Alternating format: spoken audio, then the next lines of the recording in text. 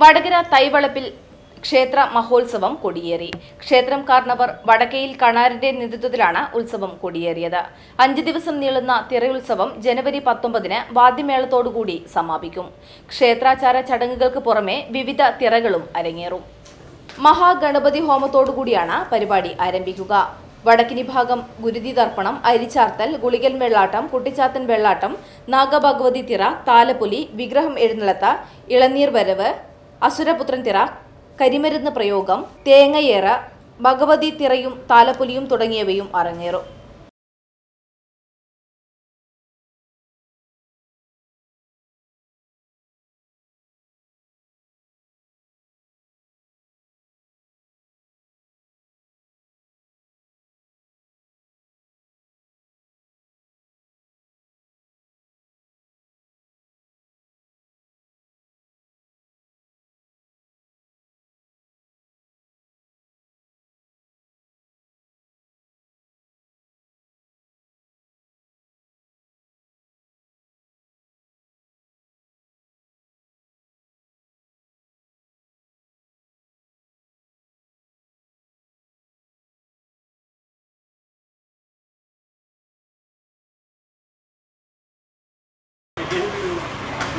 ഇന്ന്